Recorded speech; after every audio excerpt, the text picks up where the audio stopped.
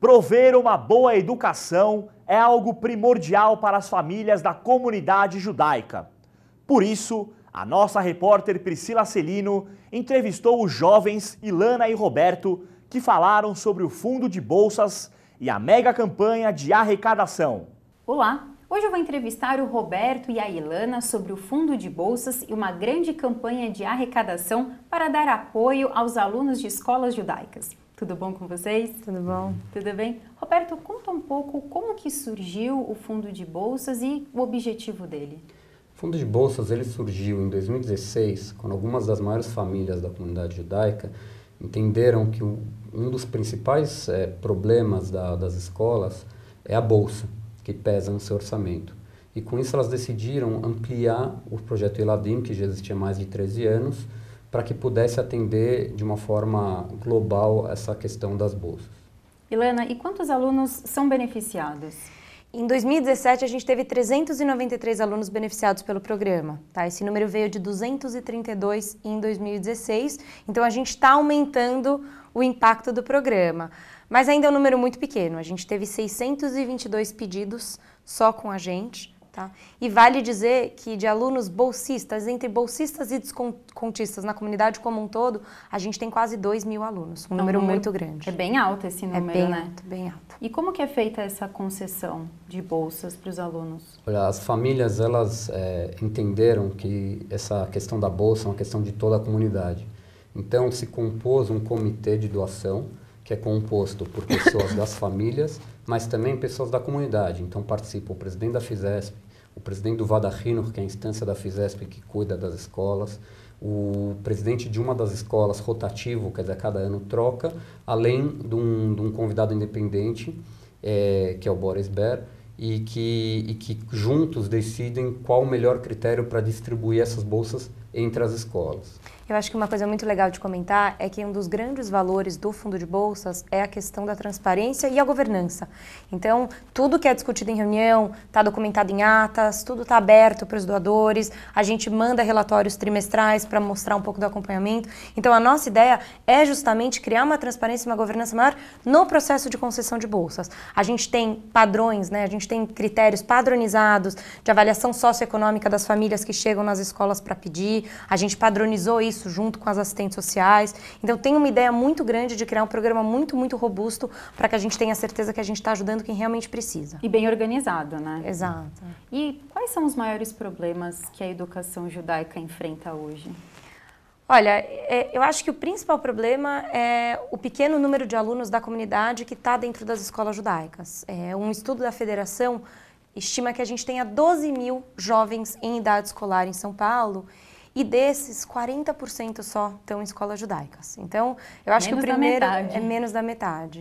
A gente acha que o primeiro problema é justamente esse, você tentar trazer esses alunos que estão fora da escola judaica, que podem estar por uma questão de opção, e aí, é claro, isso pode gerar análises mais profundas e futuras que a gente quer tentar melhorar, ou a questão financeira, que é onde a gente está agindo agora. Então, existem muitos alunos que querem estudar em escolas judaicas, mas não podem pela questão financeira. E é aí que o fundo quer agir para tentar resolver.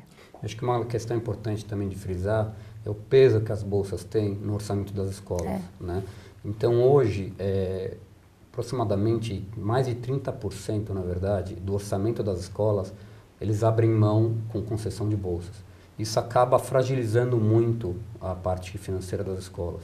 E o fundo de bolsas vem para tentar suportar isso, porque a gente entende que a questão das bolsas não é um problema das escolas, e sim é uma questão da comunidade. Né? São as famílias da comunidade que não conseguem pagar, e a comunidade, como sempre, abraça essas famílias.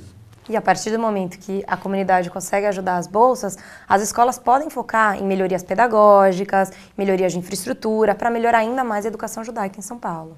Então, essa campanha que vocês vão fazer agora nessa próxima semana é justamente para auxiliar ainda mais o fundo, né? Então, o que é essa grande arrecadação, essa campanha? Exatamente. Ano passado, a gente focou a nossa arrecadação apenas nos grandes doadores. Esse ano, entendendo que isso é uma questão de toda a comunidade, a gente está usando a campanha do Charity, que é uma campanha de, de com multiplicação de doação, é, para poder atender, para poder atingir a todo o público. Né? Então a gente quer que toda a comunidade entre com a gente junto para poder suportar esses alunos. E aí a gente vai ter no dia 25 e 26 agora de outubro, que é quarta e quinta-feira, é uma campanha 24 horas de doação, onde todas as doações vão ser multiplicadas por quatro, por, por grandes outros grandes doadores que vão, para cada real doado, vão dar até outros três reais. Ilana, e como que vai funcionar toda essa campanha? Como que as pessoas podem doar, podem participar? É, vamos lá. O Charity é uma plataforma de crowdfunding, uma campanha acompanhada por alguns matchers, que a gente chama que são grandes doadores, que serão multiplicadores do valor captado. Né? É uma campanha que a gente chama de 0 ou 1, um, então ou capta tudo ou não capta nada, e por isso tem um apelo emocional de bastante envolvimento. As doações podem ser feitas através do site do Charity, que vai ficar disponível alguns dias antes da campanha. É, a gente no site do Fundo de Bolsas a gente vai divulgar pode ser feita por telefone, a gente vai tanto fazer ligações proativas quanto vai receber ligações. Tem várias formas de as doações serem feitas e vale dizer que a gente vai ter um QG na Hebraica nos dias 25 e 26 de outubro, nas 24 horas da campanha, com vários participantes e voluntários das escolas, do Fundo de Bolsas e diversas outras organizações que vão buscar doadores proativamente e receber ligações. Então, existem várias formas de participar, a gente entende que quem quiser participar com certeza vai conseguir uma forma. Mas na verdade, então é só pelo telefone ou online. As pessoas não vão poder chegar na hebraica ajudando. É Olha, acho que questão... se chegar ajudando, a gente aceita. As pessoas podem sim chegar na hebraica, Pode, então. ajudar, cheque, dinheiro, cartão. é, a gente na hebraica vai estar no espaço Adolfo Bloch. A partir do dia 25 às 17 horas abre a campanha. Essa campanha vai atingir quantas pessoas, mais ou menos? Quantas escolas? Olha, a gente, o Fundo de Bolsas hoje ele apoia todas as escolas judaicas de São Paulo, né, que são 15. É, em termos de alunos, como eu falei, no ano passado a gente atingiu 393, mas teve 622 pedidos. Tá? A nossa meta para essa campanha e para a arrecadação para o próximo ano é que a gente consiga ajudar todos os alunos que querem. Então, todos os 622 pedidos que a gente recebeu em 2017, 2016, né, referente às bolsas de 2017, a gente gostaria de poder arcar. E para isso a gente fez uma estimativa que a gente precisaria para esse ano algo como 17 milhões de reais. Então, ano passado, a nossa arrecadação foi da ordem de 10 milhões de reais, que, que possibilitou que a gente desse essas 393 bolsas. Para atingir 622 pedidos que a gente teve ano passado, a gente precisaria de 17 milhões de reais esse ano, já incluindo o reajuste das escolas. Então, por que, que as pessoas devem participar dessa campanha, devem ajudar o Fundo de Bolsas? Olha, é, eu acho que uma coisa que inclusive me atraiu muito a vir trabalhar como voluntária no Fundo de Bolsas é que quando a gente trabalha, quando a gente ajuda a questão da educação, a gente consegue que, quebrar o ciclo de vulnerabilidade das famílias. Então a gente sabe de histórias de famílias que foram apoiadas do Fundo de Bolsas, que tiveram filhos apoiados pelo antigo projeto Iladim, que hoje os netos dessas pessoas, né, os filhos dos filhos, não vão precisar de bolsa. Então, é claro, a educação é um processo grande, né? A idade escolar de um jovem, ele é grande, por isso que o Fundo de Bolsas precisa de doações não só pontuais, mas a gente precisa de uma recorrência para garantir que esses alunos continuem estudando, mas a partir do momento que a gente consegue dar uma boa formação para esses alunos, a gente acredita que as, os filhos deles não vão precisar de bolsas. Então, o primeiro ponto é que a gente acredita que é algo que realmente a gente pode impactar e fazer diferença.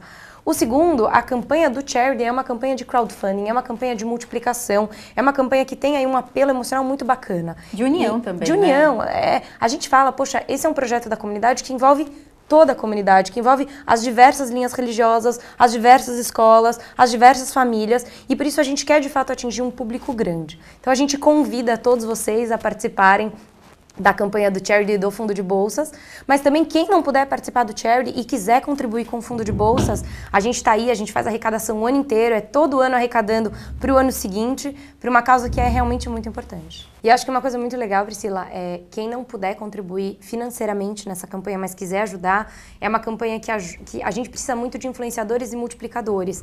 Divulgação em Facebook, divulgação em grupo de WhatsApp, algo que é muito recorrente para os jovens da comunidade que muitas vezes acham que não podem ajudar. E vale dizer também que nesse caso, e sempre o Fundo de Bolsas, qualquer doação é válida. Então, quer doar 10 reais, 20 reais, 50 reais, a quantia que for, para a gente vai ajudar muito e a gente vai garantir que esses alunos continuem ou possam vir a estudar em escolas judaicas. Muito obrigada pela entrevista, sucesso nessa arrecadação e também sorte com o Fundo de Bolsas. Muito obrigada. Obrigada. E você continue com o Shalom Brasil.